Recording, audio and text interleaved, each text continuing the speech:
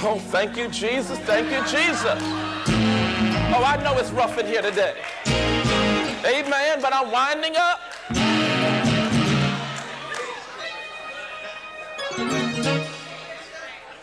When you understand what slavery has done in this nation and how you are dealing and how we are still wrestling with the residue of slavery,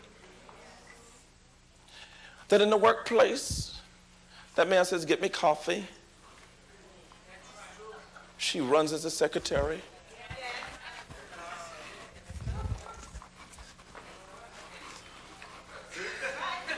Here it is, boss. Is there anything else that you would like done? I think I'd like a glass of water. I'll be right back. Amen. But then when that man goes home, say, honey, can I have a glass of water? You better go in the bathroom.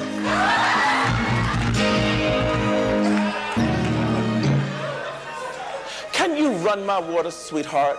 Run your what? Have you lost it? You think I am your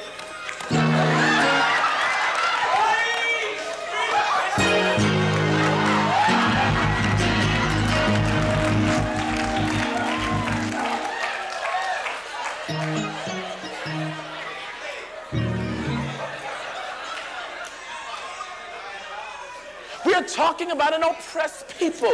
We're talking about what oppression. There are people that are losing their marriage, amen. And then they wonder why their man has slipped back into the world, amen.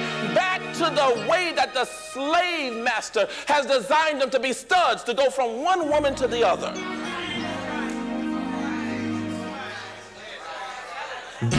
Hello?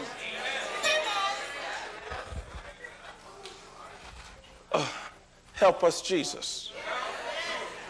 Now, in closing, let me, let, let, let, let me just say that I know, I know it got hot in here today, amen. We didn't mean to go this direction like this. We, we, we you know, we, we, we really meant to kind of take it easy today.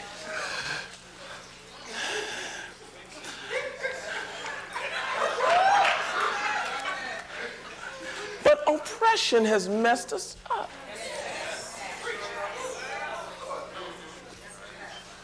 Amen. And I know there's some of you women, you're like burnt Lucy's. You've been through it. Amen. You have a whole history. You says, preacher, but you need to sit down for a moment and let me preach a moment because I have a message that men are no good. I can give you a list and a genealogy. I can share some things with you. I tried a man. He couldn't cut it. He left me dry with three kids. Never paid a bill.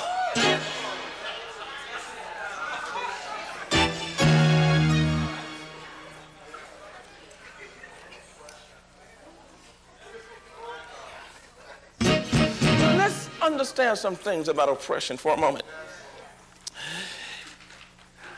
In Israel, and let me just sum this up. In, in, in, in Exodus chapter 21 and verse 2, it says, If thou buy an Hebrew servant, six years he shall serve, and in the seventh he shall go out free for nothing.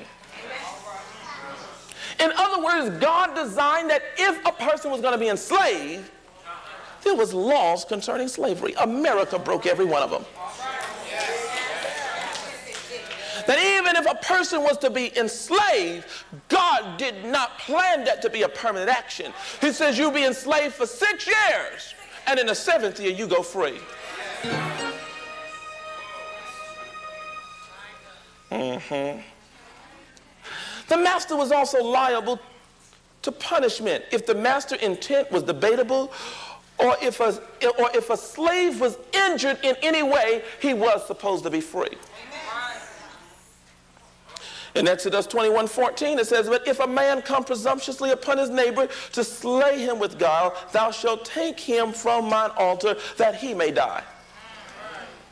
In Exodus 21 20, if a man smite his servant or his maid with a rod,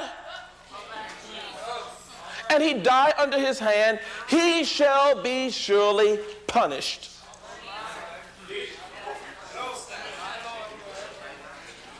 Hello, we're preaching the word. See, that's why the oppressor didn't want you to read the scriptures. Because, see, you would have taken that scripture and says, wait a minute, uh, Massa, Massa, Massa, I've been here 20 years. I was supposed to be free 14 years ago. If we're living by this book. Give me two more minutes. And in Exodus 21 and verse 26, it says, And if a man smite the eye of his servant or the eye of his maid, that it perish, he shall let him go free for his eye's sake. Touch your name and say, He's in the Word. Touch your name and say, I didn't know they cheated us like this.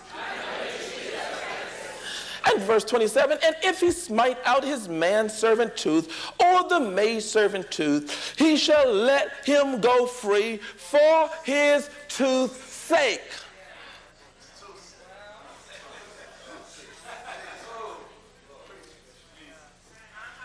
In other words, even if you served, God wanted you to serve with dignity.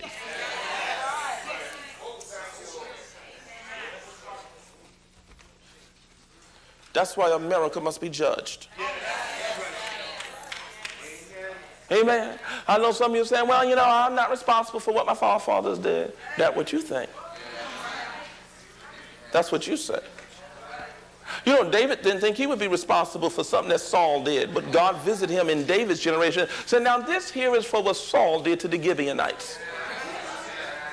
But we weren't around. We didn't vote on that. We weren't with that. I know, but you're a descendant, so you're, the sin of your fathers will visit you.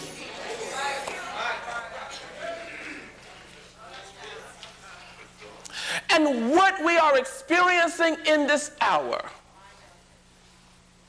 with rapes and murders and drugs getting out into suburbia America, amen, and different things that are happening to America globally and the economy changing, it is now come time for pay up for the wages of sin.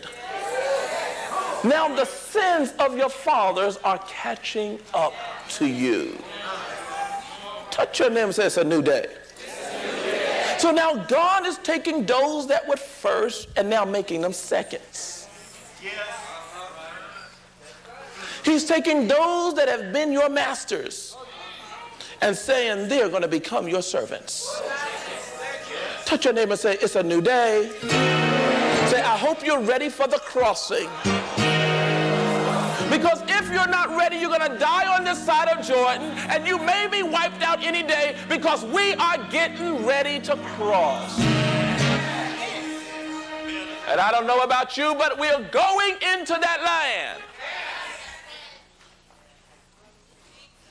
And some things are about to be upset because God has raised you up to mess things up. Let everyone stand.